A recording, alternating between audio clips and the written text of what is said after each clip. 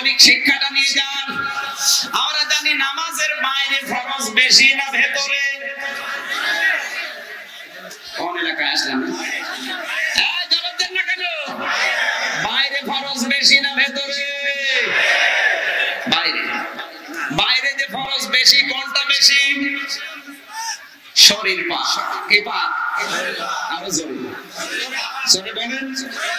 এই শরীর বলতে আপনি কি, সাড়ে তিন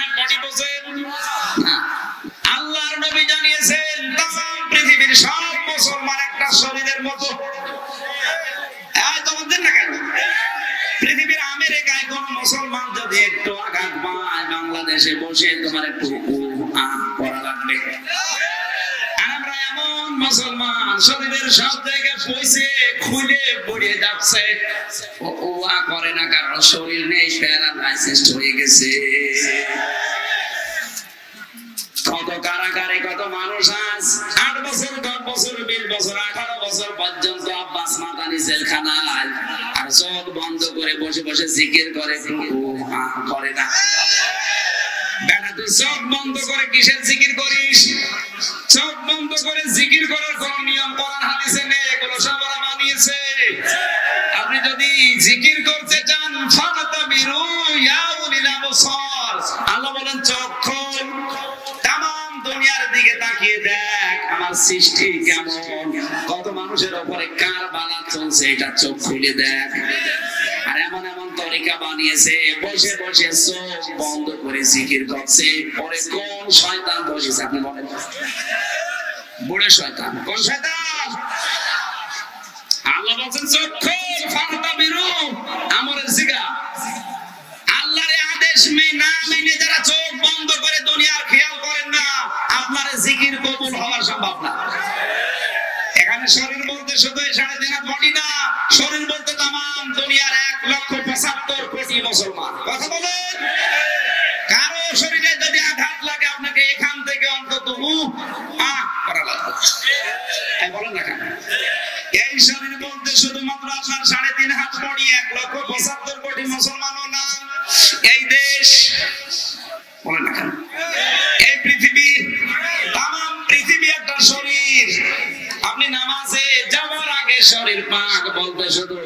হাত বডি যদি অর্থ হয়, তাহলে সাবান দিয়ে সটা দিয়ে, শ্যাম্পু দিয়ে পরিষ্কার করলে হয়ে যায়।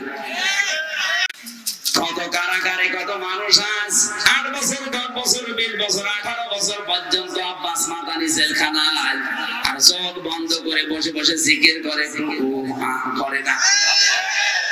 বলেন খোল। তামাম দুনিয়ার দিকে তাকিয়ে দেখ। আমার সৃষ্টি কেমন?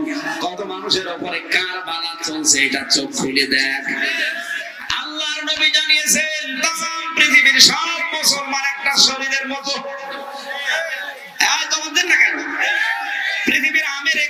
মুসলমান যদি একটু আঘাত পায়, বাংলাদেশে বসে তোমার একটু করা লাগবে। মুসলমান, শরীরের সব জায়গায় পয়সে খুলে পড়ে যাচ্ছে। ও ও করে না কারণ শরীর নেই প্যারালাইসিস হয়ে গেছে। আমি সাক্ষী দিচ্ছি পড়ার আয়াত পড়ে মানুষ শয়তান। সুতরাং এদের থেকে আত্মরক্ষা করে থাকা লাগবে। কথা বলছেন আমাদের মিশন এখানে থেমে থাকবে না। পৃথিবীতে কেউ স্থায়ী হয় না হোক না সে কি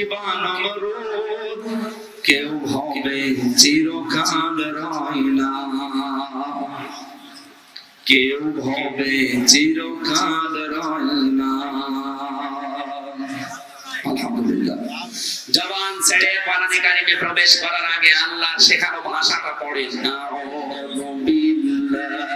মিনাশ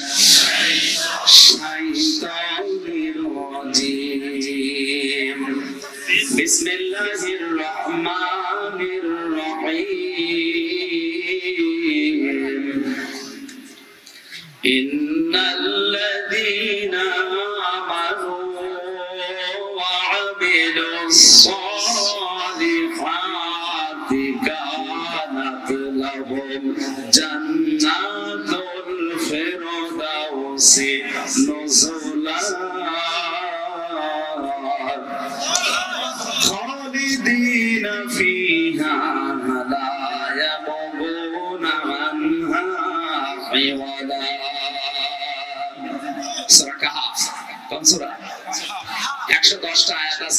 আমরা 107 8 দুইটা আয়াত পড়েছি। আপনারা আছেন ময়দানে? আছেন? আছেন। কারা আছেন দেখি? লিল্লাহে তাকবীর। দেখেন তো হাত তোলে দেখি। আলহামদুলিল্লাহ, এখনও আছে। আপনাদের ধৈর্য কি? সেই সকাল নয়টা থেকে এখনও বসে আছে। আরও প্রবেশ করার আগে আল্লাহ যেটা শিখিয়ে দিলেন এটা আগে একটু দেখি তো। আউযু বিল্লাহি মিনাশ শাইতানির রাজিম এটাকে আমি নিজে পড়ালাম না আল্লাহ পড়তে বললেন। সূরা নাহলের 98 নম্বর আয়াতে আল্লাহ আমর হাসির মারুফের শিক্ষা দিয়েছেন বিল্লাহ। হে নবী আপনি যখন কোরআন পড়তে যাবেন তখন আশ্রয় চাইবেন। মিনাশ শাইতানির রাজিম শয়তান থেকে আল্লাহর কাছে কার কাছে? আল্লাহ শয়তান থেকে কোরআন আগে, শোনার আগে কোরআনের অনুষ্ঠান আগে শয়তান থেকে আশ্রয় চেয়ে নেন। শয়তানের চেলা বেলা শয়তানের চেলা যারা আছে, তারা যেন আপনাদের ধোকা দিয়ে বোকা বানিয়ে ফেলতে না পারে। দুঃখজনক হলো সত্য, ছিয়ানব্বই ভাগ মুসলমানের দেশে আমরা আজ কোরআনের কথা বলতে গেলে, শুনতে গেলে, আয়োজন করতে গেলে শয়তান মার্কা মানুষদের কাছে অনুমতি নেওয়া লাগে। আল্লাহ বলেন ওদের কাছ থেকে দূরে থাকো। আর আমরা আর ওদের কাছে অনুমতি নেওয়া লাগছে। হ্যাঁ, আপনি কি কথা বলছেন? এবার আসেন মূল কথায়। পৃথিবীতে এমন কোন ইবাদত আমি পাইনি যে ইবাদত করতে গেলে আউযুবিল্লাহ পড়া লাগবে মাস্ট বি না। আপনি নামাজের আগে আউযুবিল্লাহ না পড়লে নামাজ হবে না, এমন কথা কোরআন হাদিসে নেই। রোজা রাখার আগে আউযুবিল্লাহ না পড়লে রোজা হবে না, এমন কথা কোরআন হাদিসে নেই। কিন্তু কোন মানুষ যদি কোরআন পড়ার আগে আউযুবিল্লাহ না পড়ে ওর কবিরা গুনাহ হবে কথা বলে না কেন? কারণ আদেশ কার? আরও জোরে বলেন। কেন? কেনর জবাব হচ্ছে, পৃথিবীতে কোন ইবাদতে শয়তান মানুষকে এত ধোঁকা দেয় না। কোরআনের আয়োজনে মানুষকে আল্লাহ শয়তান যত ধোঁকা দেয়। এ ধোঁকা হয় জিন শয়তান অথবা মানুষ শয়তান। এ কক্সবাজারে যদি জিন শয়তান নাও থাকে মানুষ শয়তান আছে। যারা মাহফিল বন্ধ করার জন্য অনেক চেষ্টা চালিয়েছে, আমি সাক্ষী দিচ্ছি কোরআনের আয়াত পড়ে মানুষ শয়তান। সুতরাং এদের থেকে আত্মরক্ষা করে থাকা লাগবে। কথা বলছেন এখানে। বিসমিল্লাহির রহমানির রহিম। পরম দয়া দয়ালু আল্লাহর নাম আমরা আরম্ভ করছি। কাহাফ, আয়াত নাম্বার 107 আলোচনার বিষয় হচ্ছে, কোন কাজে কোন জান্নাত? আল্লাহ বলেন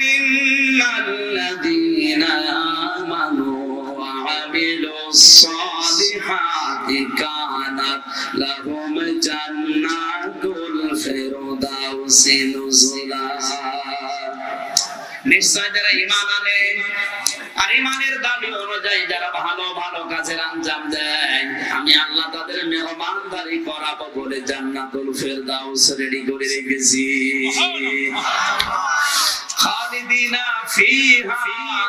তারা জান্নাতুল ফেরদাউসে প্রবেশ করবে। আনহা তারা বের হতে চাইবে না, আমি আল্লাহ তাদেরকে বের করেও দেব না। সরে বলেন আল্লাহু আকবার। সারা জীবন শুনেছি জান্নাতে গেলে আল্লাহ বের করে দেয় না মানুষ বের হতে চাইবেও। বলেন আরও জোরে বলেন।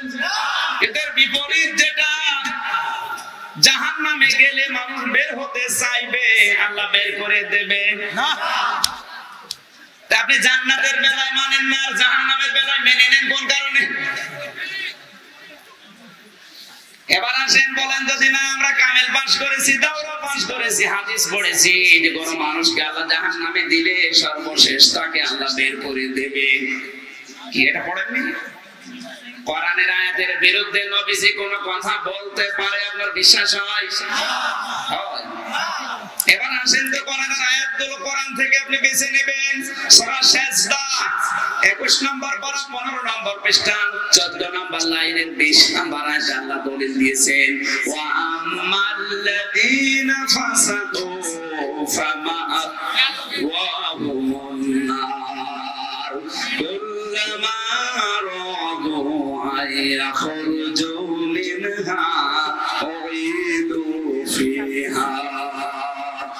ইলা আখিরি আল্লাহ তাআলা বলেন, নিশ্চয় যারা ফাসিক, গুনাহগার হয়ে, মুজরিম হয়ে, পাপিষ্ট হয়ে আমি আল্লাহর কাছে আসবে, তাদের আশ্রয়স্থল বানিয়ে দেব জাহান্নামের আগুন। কিসের আগুন?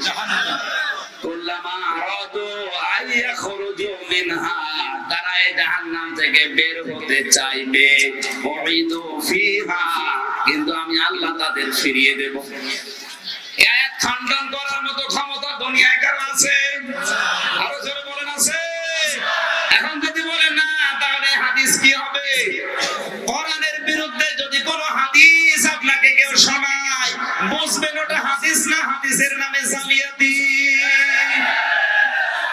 এইটা বিশ্বাস করি, কোরআনের বিপক্ষে কোনো কথা নবীজি বলতে পারে। বলেন না কেন? তাহলে এগুলো আমাদের সিলেবাসে আসলো কি করে? এই কোরআনের আয়াতের পক্ষে যে ওগুলো আমাদের সিলেবাসে নেই কেন?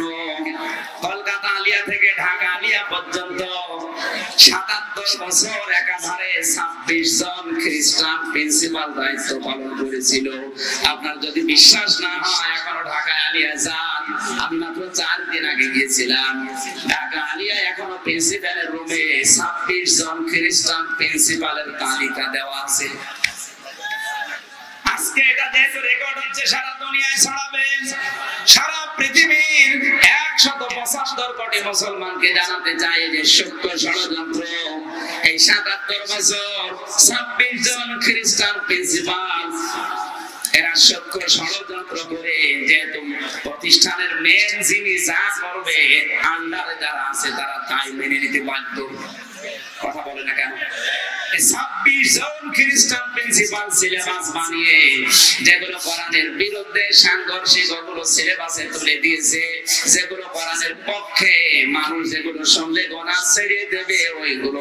করে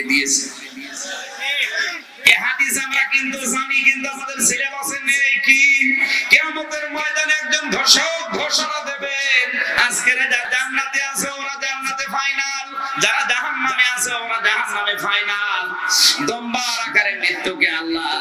এসে জবাই করে দেবে। এ হাদিস আমরা শুনেছি, কিন্তু আমাদের সিলেবাসে নেই। কথা বলে না কেন? কিন্তু আগের ওই হাদিসটা সিলেবাসে আছে, যেটা কোরআনের সাথে মেলে না। আপনি আর একটা আয়াত মিলান। সূরা সমাজ, তেইশ নম্বর আমার মনে হয় এত দলিল দিয়েও যদি কারও মন খারাপ হয় বাড়ি যে তাফসিরটা মিলাবেন। এরপরেও যদি আপনার বিশ্বাস না হয়, বুঝবেন আপনি বেঈমান। কি? আলাইহি কালিমাতুল আযাব। আফা আনতা মান ফিন নার আল্লাহ তাআলা বলেন, হে নবী জাহান্নামের দণ্ডাদেশ কার্যকর হয়ে গেছে, আপনি কি পারবেন তাকে জাহান্নামের আগুন থেকে বাঁচাতে? কে বলছেন বলেন। আফা আনতা, আপনি কি পারবেন তাকে বাঁচাতে? মান ফিন নার জাহান্নামের আগুন থেকে বাঁচিয়ে দিতে। তার মানে যে চলে গেছে, আপনিও তাকে জাহান্নাম থেকে বাঁচাতে পারবেন না, এইটাই আয়াতের কথা। এই কথা বলে না কেন? এখন এই করার মতো কোন হাদিস যদি থাকে, ওটা কি হাদিস? বলেন। আপনি জান্নাতের কথা শুনলে খুব আনন্দে আছেন। জান্নাতে গেলে মানুষ বের হবে না, বের হতে চাইবে আল্লাহ বের করেও দেবে না। খুব আনন্দ করছেন কিন্তু জাহান্নামের কথাও তো ঠিক ওর বিপরীত আছে। জাহান্নামে গেলেও বের হবে, হতে চাইবে, কিন্তু আল্লাহ বের করে দেবে না। কথা বলে না কেন? দুনিয়ায় যদি কেউ কবিরা গোনা করে আর মৃত্যুর সংগত সময় আগে যদি তওবা করে গনা মাফ করে মারা যায়, আল্লাহ তাকে কোনোদিন জাহান্নামে দেবেই না। কথা বলেন না কেন ওকে জাহান্নামে আল্লাহ দেবে কেন জাহান্নামে দেওয়ার পরে আবার বের করবে, আল্লাহকে আপনার সাথে খেলা করবে। খেলা করবে?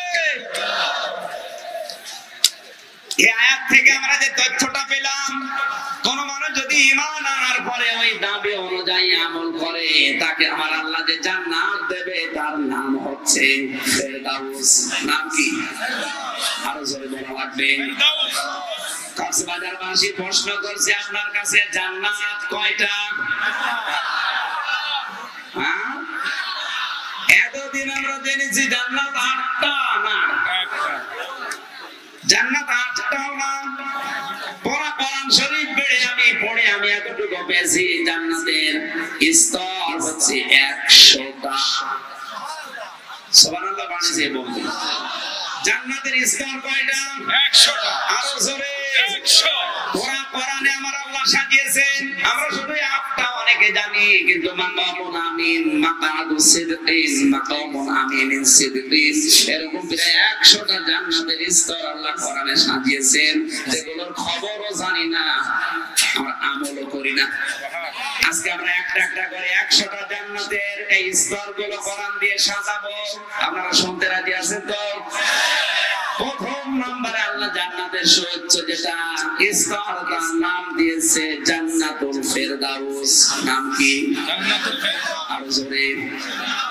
এখানে আল্লাহ যাদেরকে দেবেন তাদের ভেতরে কমপক্ষে আটটা গুণ থাকা লাগবে। সূরা মুমিনুনের ভেতরে আল্লাহ এই গুণগুলো দিয়েছেন।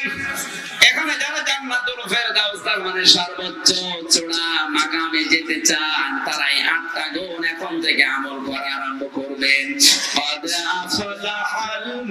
المؤمنون الذين هم في صلاتهم خاشعون আল্লাহ রাব্বুল আলামিন বলেন সফল তারা মুমিন যারা সুবহানাল্লাহ বলতে পারেন না আমাদের কিছু না থাক আমরা মুমিন এই পরিচয় আমাদের আছে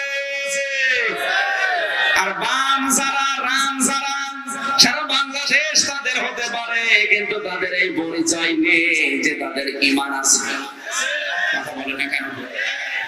দুনিয়ায় শুধু বেশি দিন বেঁচে থাকা বেশি দিন ক্ষমতায় থাকা যদি সফলতা হয় তাহলে ফেরাউন সফল না বিফল? আরও জোরে বলা লাগবে। বিফল। কেন? তো ক্ষমতায় ছিল ছয়শো বছরের উপরে। হায়াত পেয়েছিল আমাদের প্রায় আট পুরুষ না পয়দা একা পেয়েছিল।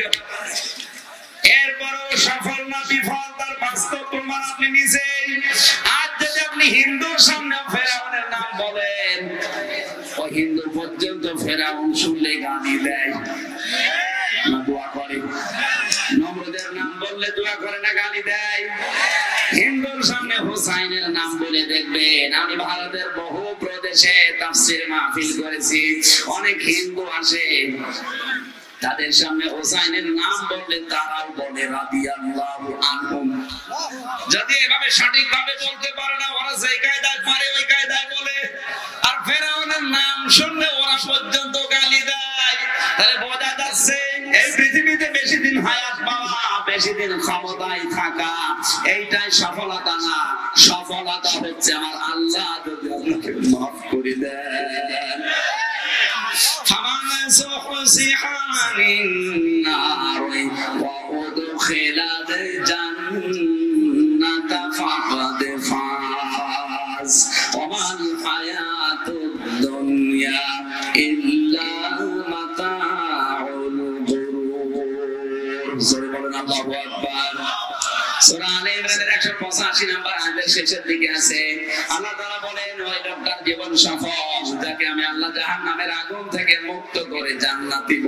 ঘোষণা দিয়েছি। বেকুয়াবাসী মন খারাপ করার কোনো কারণ নেই। বিশ্বনবী মোহাম্মদ রাসূলুল্লাহ পর্যন্ত কোরআনের পক্ষে থাকার কারণে তার আলামিন as-সালিক নাম যারা দিয়েছিল তারাই তাকে দিয়েছে জাদুকর। ঠিক। বলো। ঠিক। শুধু জাদুকর গণক বলে শেষ করেনি তাকে বিরাশি বার মেরে ফেলার টার্গেট নিয়েছিল। এ মাহফিল হয়তো বিরাশি বার বন্ধ করার টার্গেট হতে পারে। কিন্তু নবীজির মিশন যেমন থেমেছিল না কোরআনের মিশনও এখানে থেমে থাকবে না। কারা কারা আস- আসবেন এখানে কিয়ামত পর্যন্ত হাত তোলেন তো লিল্লাহে তাকবীর। আপনি কিয়ামত পর্যন্ত বাঁচবেন? আপনি কিয়ামত পর্যন্ত না বাঁচলেও কবুল হয়ে গেছে কারণ আপনার পেটের যে সন্তান স্ত্রীর পেটে ওইটা আসবে, ওর স্ত্রীর পেটে আসবে, এভাবে কিয়ামত পর্যন্ত বেকার এই ময়দানে কোরআনে কারিমের মিশন উঠবে, কথা বলেন ঠিক কিন্তু যারা এই বেকুয়ায় দাঁড়িয়ে আলেমদেরকে কুকুরের বাচ্চা বলে দিয়েছে, ওদের জানাজা পর্যন্ত মানুষ অজু করে পড়ে না। সুতরাং সফল ওই লোকটা ইমান আছে, যাকে আল্লাহ জাহান নামের আগুন থেকে মুক্ত করে জান্নাতি বলে ঘোষণা দিয়েছে। আমি আমার হামজার জীবনে এক হাজার বছর হায়াত দরকার নেই। সারা বাংলাদেশের মালিক হওয়ার কোনো দরকার নেই। আমার জীবনের সফলতা আমার মালিক আমাকে মাফ করে দিয়েছে। কথা বলেন না কেন? কারণ হিসাব করা কঠিন জিনিস। হই না এটা বিষয়টা অনুধাবন করি না। বিশ্বনবী মোহাম্মদ রসুল্লাহ, তার আগে পরে সব অপরাধ আল্লাহ মাফ করে দিয়েছিল। এর পরেও তিনি প্রতিদিন একশো বার করে আল্লাহর কাছে হিসাবের জন্য পানা চাইতেন। আল্লাহুম্মা ইউহাসাবু হিসাবান ইয়াসীরা। ইয়া আল্লাহ, তুমি দয়া করে আমার হিসাবটা সহজ করে দাও।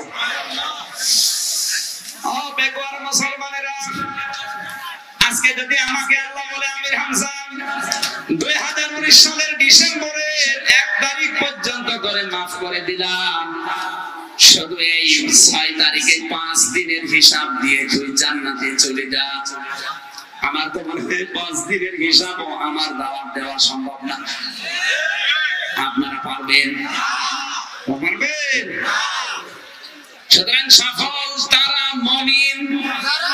আল্লাহ এই জন্য দিয়েছেন, কদ মুমিনুন। সফল হয়েই গেছে যারা মমিন। যারা বলেন, আল্লাহু আকবার। অন্তত এখানে যারা আছি, আমরা মমিন বাদে নেই। মমিন বাদে কোনো বেঈমান আছেন একটু হাত তোলেন দেখি। আরে বেঈমান।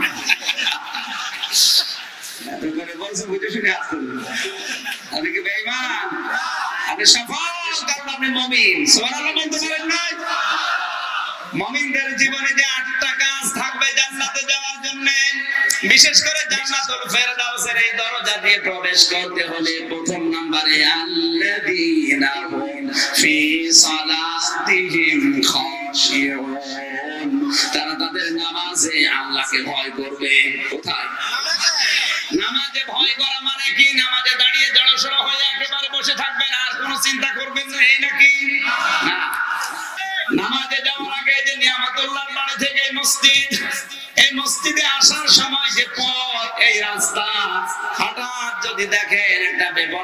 লোক দাঁড়িয়ে আছে সাপনের মতো।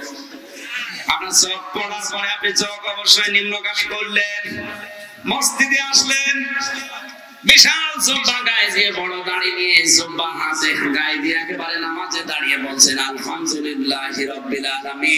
আর মাঝে মাঝে আপনার মনের ভেতরে আসবে যে কি দেখলাম।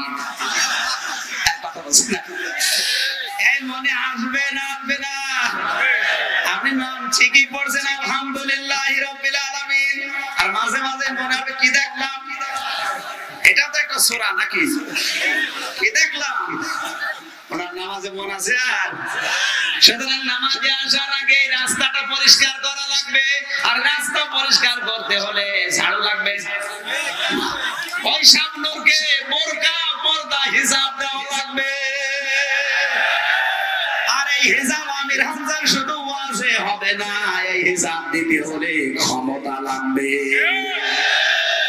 ওই কথাটা বলতে গিয়ে আমাদের তো মাহফিল বন্ধ করে দেয় শুধু ওই ভয়ে। কথা বলছেন না কেন? তাছাড়া কোন দোষ আছে? আপনি তালিকা আমারে দিতে পারবেন না, কারণ দেশের শয়তানও বিশ্বাস করবে না। দুই নাম্বার, আমি আপনার মেয়ের দিকে তাকাইনি, কারণ আমি সে সেকেন্ড ইয়ারে থাকতে আগে বিয়ে করে ফেলেছি। এদিকে যে তাকাবো না, এই কারণে আগে বিয়ে করে দুই নাম্বার, আপনার জমি জায়গা আমি আত্মসাৎ করিনি। কথা বলে না কেন? আপনার বাঁকা ধানে মই দিয়েছি। কোন কারণে আপনি কক্সবাজার, চট্টগ্রাম আর আসতে দেবেন আমি কি এদেশের নাগরিক না? কেন দেন না এই ভয় যে না জানি সামনুরকে আবার পর্দা দিয়ে ফেলে কিনা। আপনি চান সামনুরকে ওভাবে আরও উলঙ্গ করে ভোগ করতে? আর আমরা এদেশে যারা তাওহীদি জনতা মুসলিম আমরা চাই সামনুর মায়ের জাত ওকে মায়ের মতো সম্মান দিতে। জি জি। আগের দেওয়া দরকার আপনি বসেন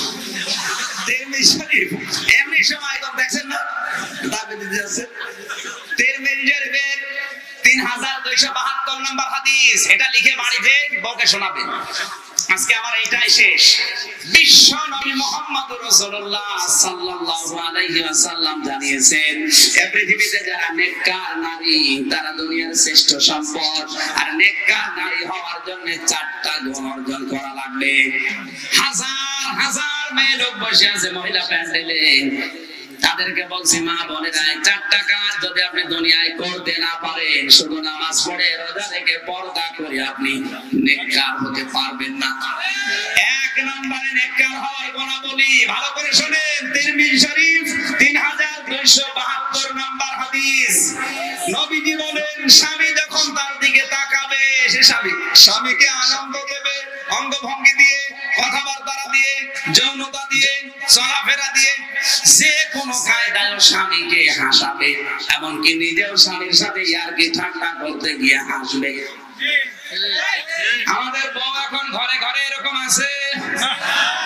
স্বামীকে হাসায় না, গোলা ভাইকে হাসাচ্ছে। নবীজি বলেন, স্ত্রী যদি স্বামীকে খুশি করতে গিয়ে নিজের দাঁত দেখিয়ে দেয় হাসতে গিয়ে সেই কয়টা দাঁত স্বামী দেখবে ওই কয়টা নফল হজের সাপ হবে। জোরে মুরব্বী মানুষ আল্লাহ আকবার বলছে ও বাড়ি যেয়ে দেখবে দাঁত কেলিয়ে পড়ি আছে। আমি বউকে শুনেছি। বউ আছে? সত্তর বছর বয়স হবে বউ যদি থাকে ও একটা দাঁত কি আসতে গেলে যে কয়টাই আছে অত কিছুই আর বন্ধ হবে না দাঁত কেলিয়ে পড়ে থাকবে। মা এসেছেন আপনার স্বামী যখন কাজকর্ম করার পরে বাড়িতে আসবে, আপনি স্বামীকে যে কোনো কায়দায় আনন্দ দেওয়া লাগবে, এটা নেককার হওয়ার প্রথম গোনাবলী।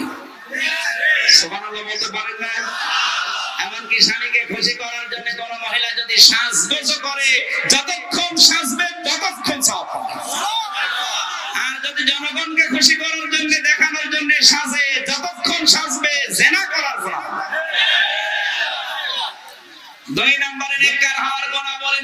বলেন, স্বামী যদি হুকুম করে, হুকুমটা যদি জায়েজ হয়, জীবন দিয়ে হলেও মানা রাখবে কথা বুঝতেছেন তিন নম্বরে নেককার হওয়ার পর বলে আল্লাহ নবী বলেন, স্বামী যেই কাজে আনন্দ পায়, স্বামী যেই কাজে খুশি হয়, ওই কাজে স্ত্রীকেও খুশি হওয়া লাগবে।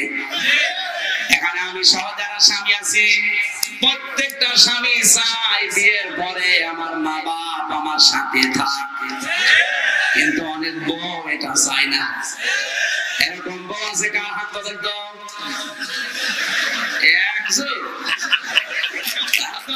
একজন আছে। ও যে কোন জাহান্নামী আছে, এরা আল্লাহ ভালো জানে। সম্মানিত মা না, আপনার মনটা উদার করেন। এই বাংলাদেশে আমরা যারা পুরুষ মানুষ আছি, আমরা আমার শ্বশুর শাশুড়িকে যেই নজরে দেখি, যেভাবে মায়া মহব্বত করি, আমার মনে হয় বউগুলো যদি আমার মা বাবা তাদের শ্বশুর শাশুড়িকে ওই নজরে, ওই মা মহব্বত দিত, এই দেশে কোনো পরিবার আলাদা হতো না বলেন।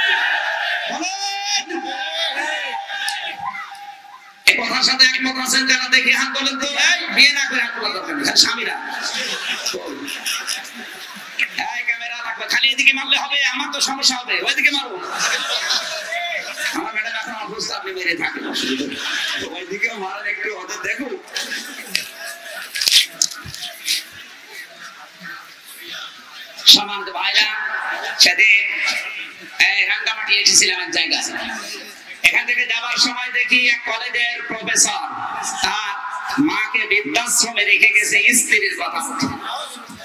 বাবাকে ডাক দিয়ে বলছে, বাবা, আমি যখন মারা যাব, আমার মাথার উপরে এই ফ্যানটা তুই পাল্টিয়ে দিবি। ছেলে বলছে, মা, তুমি মারা যাওয়ার পরে ফ্যান পাল্টিয়ে কি করব? বলছে, ফ্যান আজ এক মাস হয়ে গেল ঘরে না। আমি কর্তৃপক্ষকে বারবার বলেছি, আমার কথা বলা শোনে না। তুই এক মাস পরে আমার সাথে দেখা করতে আসলি, আমি আর বাঁচবো না, তুই আমার ফ্যানটা মরণের পরে পাল্টাবি। কারণ আমার মনে হচ্ছে, কিছুদিন পরে তোর সন্তান তোকে এখানে রেখে যাবে। ওই অবস্থায় ওর মা ওর হাতের উপরে মারা গেল। হাও মা করে কেঁদে বলছে হুজুরের দোষ শুধু আমার একা নয় দোষ আমার বউ। আজ এক মাস আগে আমার বউ আমাকে বলেছে, বুড়ি যদি বাড়ি থাকে, আমি তোর ভাত খাব। আমার দুইটা ছেলে আছে, তাদের মুখের দিকে তাকিয়ে আমি তালাকও দিতে পারি না। বাধ্য হয়ে মাকে বৃদ্ধাশ্রমে রেখে গেলাম। মা আজকে আমার মরে গেল। কক্সবাজারবাসী আমার মনে হয় শুধু ওই প্রফেসর না, এখানে হাজারো মানুষ আমরা বসে আছি, যাদের অবস্থা ঠিক ওই প্রফেসরের মতো। কথা মেয়েরা যারা এসেছেন মনটা উদার করবেন। এই ছোটখাটো বিষয় নিয়ে আপনি সংসারে জাহান্নাম বানিয়ে ফেলেছেন। চার নম্বরে স্বামীর যতটুকু ইনকাম ওই ইনকামের উপরে স্ত্রীকে তার চাহিদা নিয়ন্ত্রণ রাখা লাগবে। এই চারটা গুণ যে মেয়ে লোকের ভেতরে আছে নবীজি বলেন দুনিয়া কুল্লুহা মাতাহুম ওয়া খায়রু মাতাইদ দুনিয়া ইমরাতুস সালিহা। এই পৃথিবীর সব ভোগের সামগ্রী উত্তম ভোগের সামগ্রী হচ্ছে পৃথিবীর নেককার নারী আর নেককার হওয়ার জন্য চারটা গুণ। আল্লাহ আমাদের মেয়েদেরকে যেন দান করেন জোরে বলেন আমিন। আমি গাড়ি চলে এসেছে আমি আর কথা বলতে পারছি না আমি দেখা করব ইনশাল্লাহ বিশ তারিখে নয়টায় উঠবো, বারোটা পর্যন্ত চালাবো আমি বার করলাম World TV 24. Enjoy the Holy Quran.